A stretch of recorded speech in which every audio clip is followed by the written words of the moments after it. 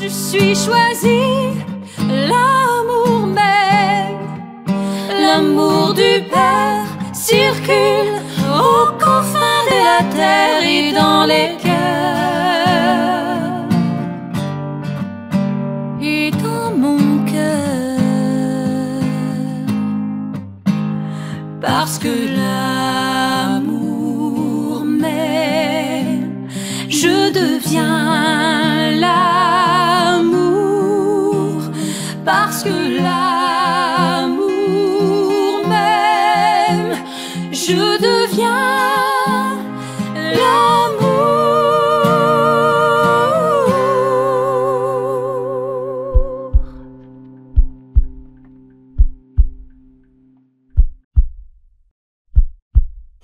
Alors, euh, bonjour à vous, chers choisis de Jésus. Il me fait plaisir d'être avec vous aujourd'hui en différé. Donc, j'ai enregistré cette euh, émission un peu plus tôt. Euh, mais ça me fait plaisir d'être avec vous. Et comme je vous disais euh, dimanche dernier, je suis en vacances et je voulais quand même vous laisser avec ce rendez-vous du dimanche, avec ce rendez-vous qu'on a à tous les dimanches. Et puis, euh, avec un beau thème qui est pour aujourd'hui.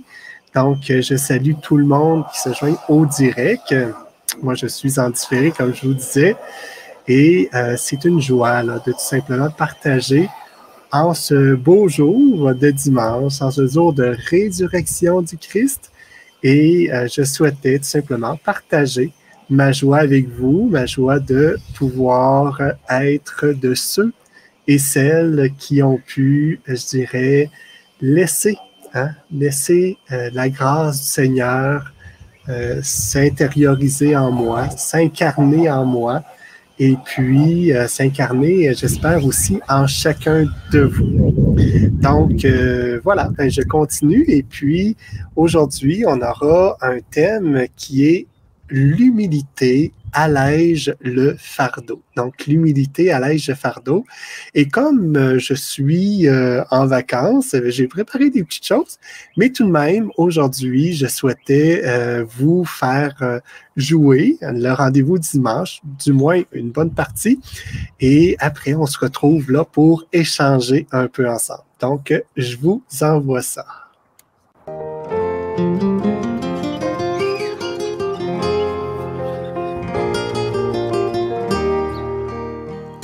Bonjour à vous, chers choisis de Jésus.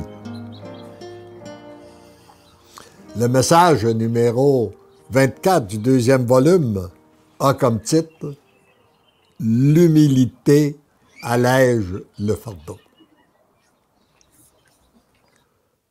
Je pense que nous n'avons jamais fini euh, avec notre cher orgueil qui veut toujours prendre place. Ça me rappelle un jour dans un petit groupe, on m'avait demandé, euh, Léandre, voudrais-tu nous parler de l'humilité? J'ai répondu, il est toujours plus facile de parler de qu'est-ce qu'on connaît que qu'est-ce qu'on connaît pas. Si vous voulez, je vais vous parler de mon orgueil. Et ça me rappelle un ami qui disait, un jour, j'étais assez orgueilleux pour croire que j'étais humble.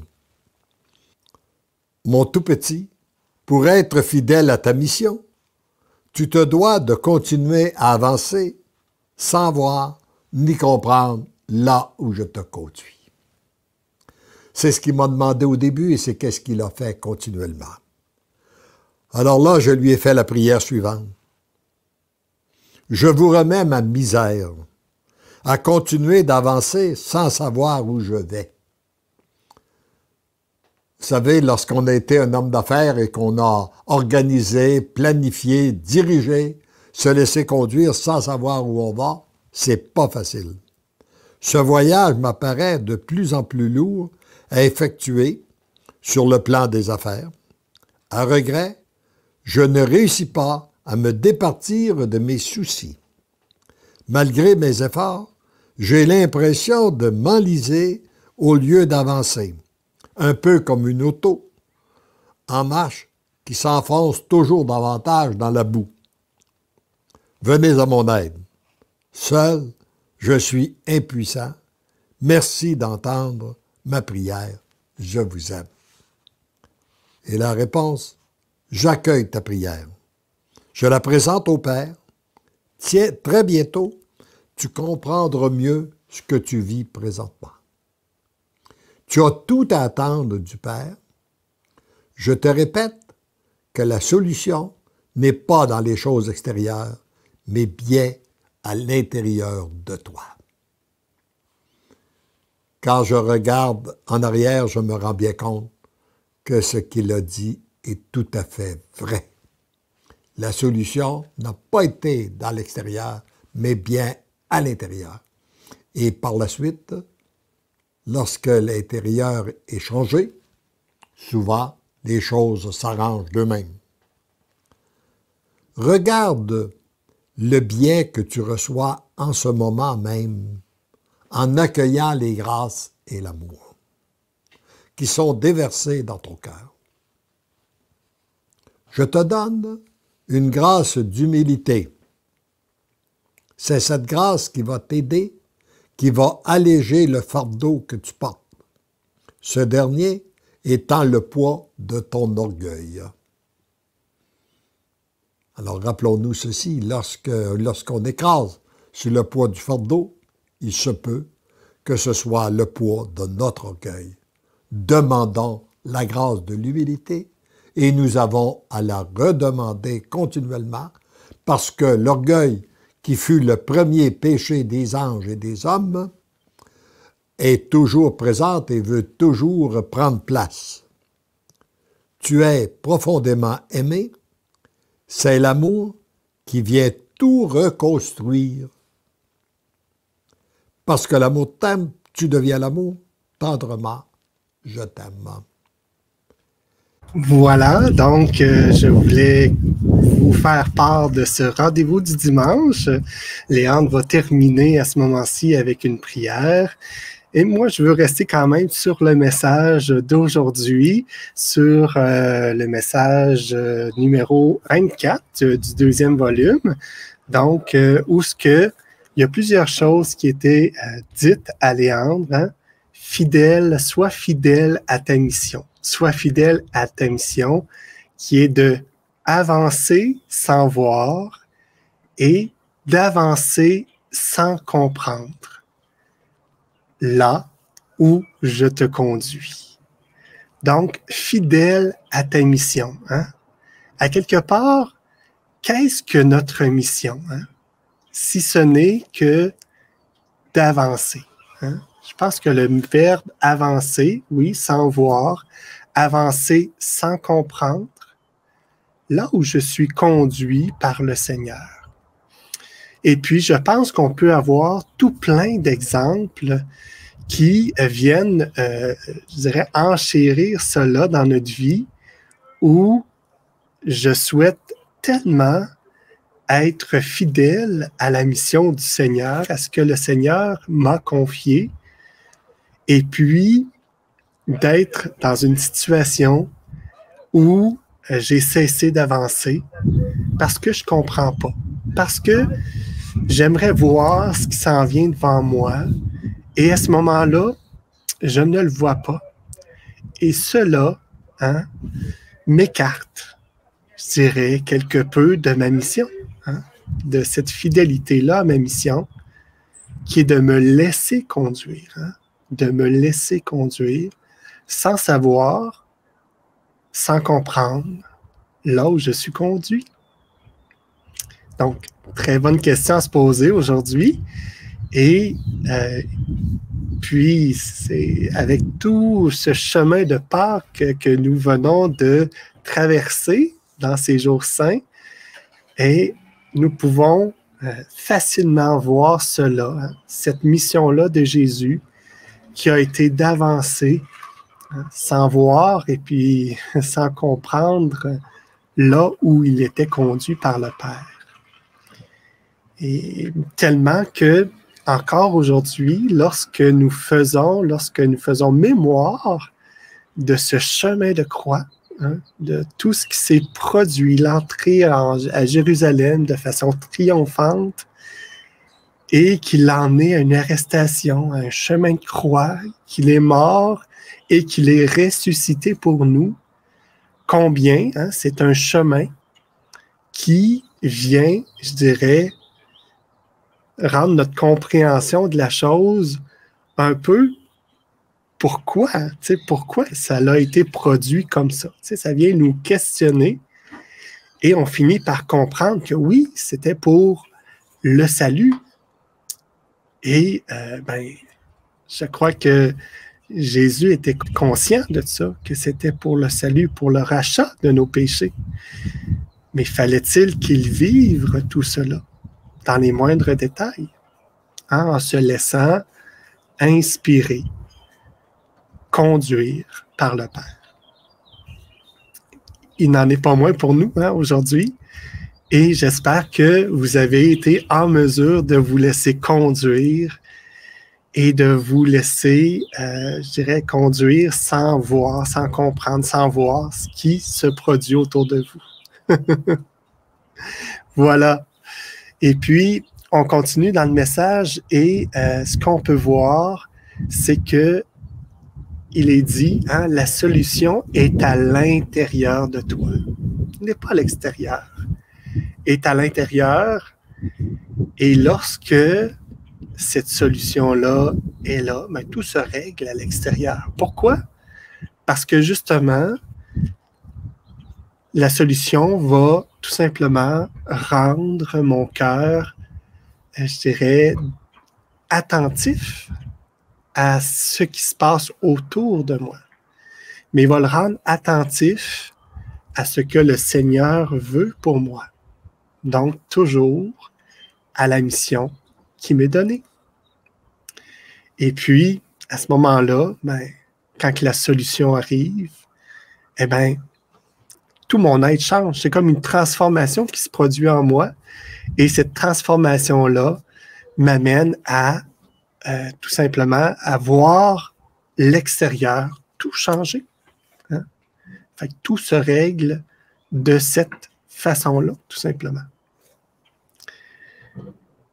Et puis, euh, vous avez entendu, hein, une grâce d'humilité qui allège ton fardeau.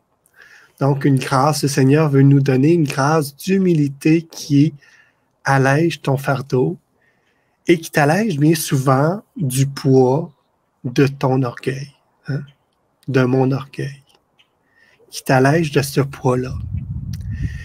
Et cette grâce d'humilité-là, tout simplement, euh, j'aime beaucoup ce que nous dit euh, un philosophe là-dessus, c'est que l'humilité, c'est de considérer notre moi comme un moyen au service de Dieu et au service de l'humanité.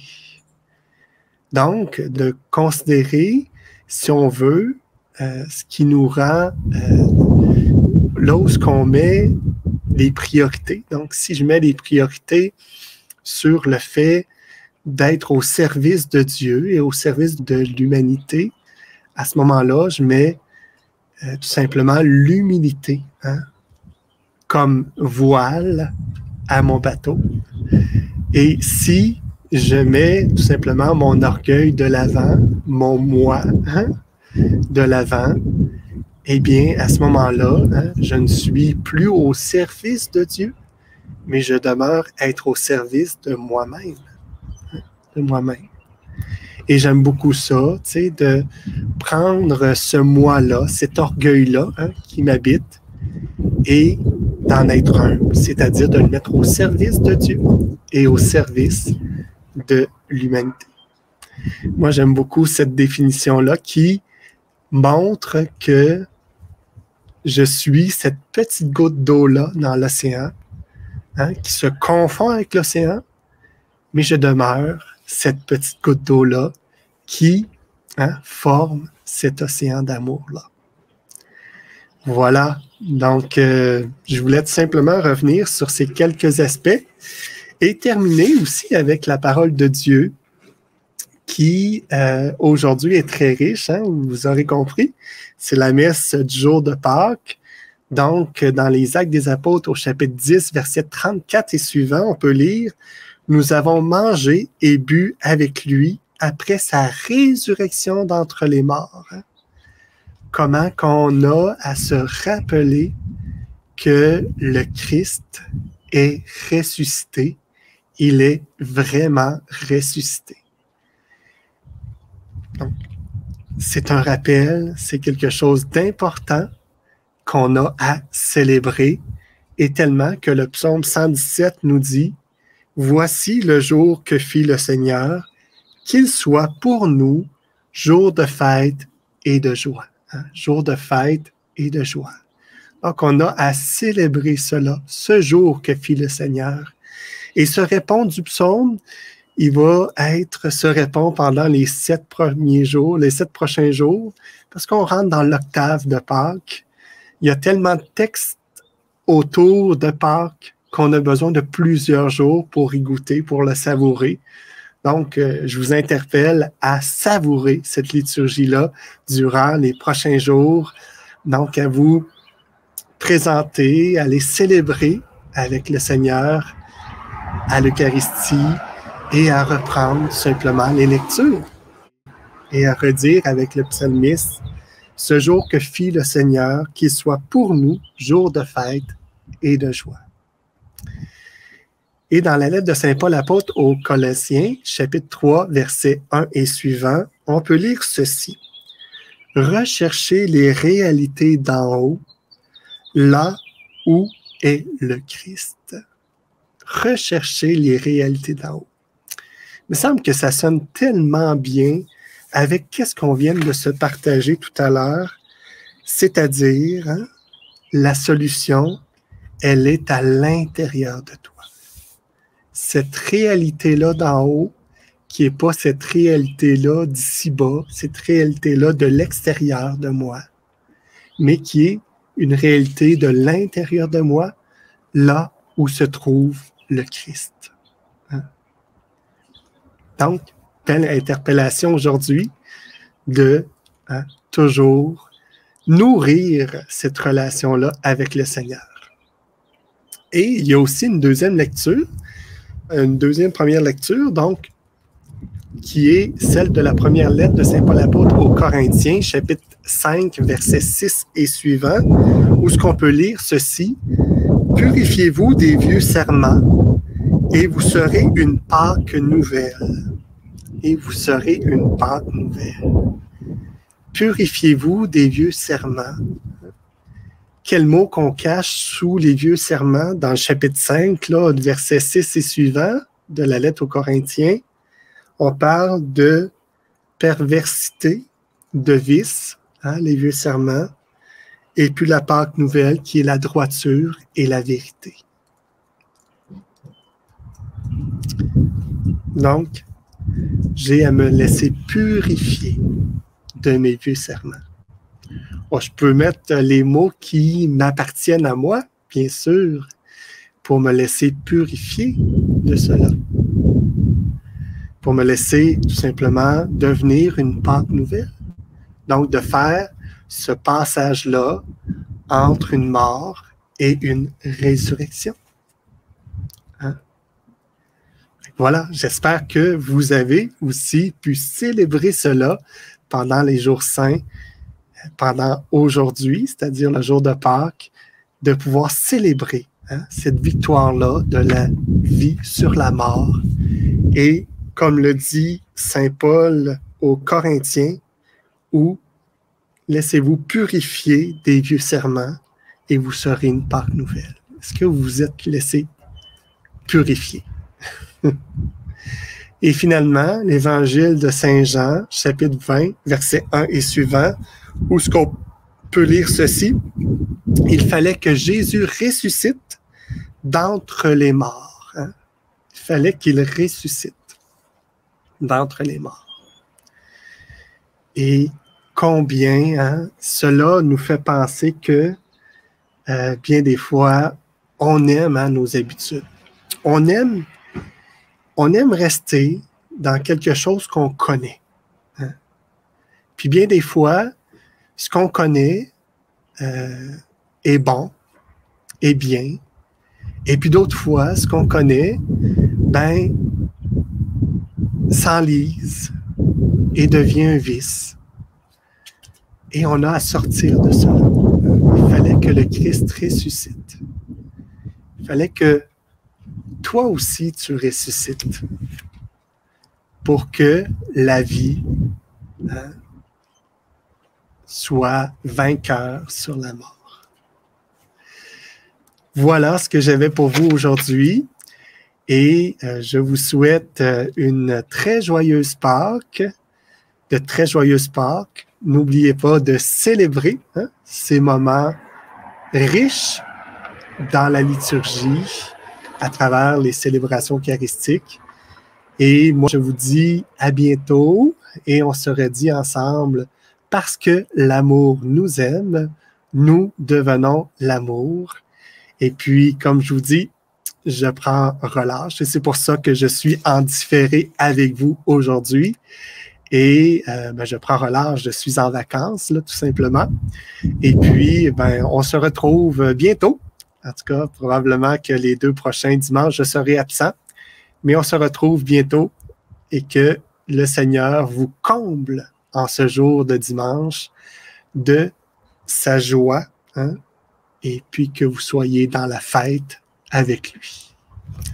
Je vous dis à bientôt et nous serons avec vous tout au long de la semaine. Au revoir. Je suis choisi, l'amour même, l'amour du Père circule aux confins de la terre et dans les cœurs. Et dans mon cœur, parce que l'amour